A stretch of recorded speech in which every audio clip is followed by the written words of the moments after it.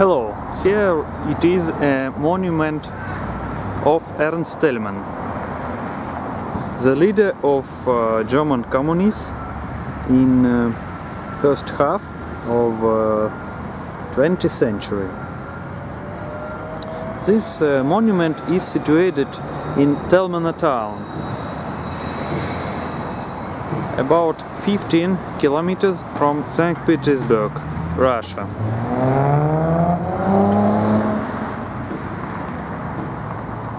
This monument is uh, rather unique because it was established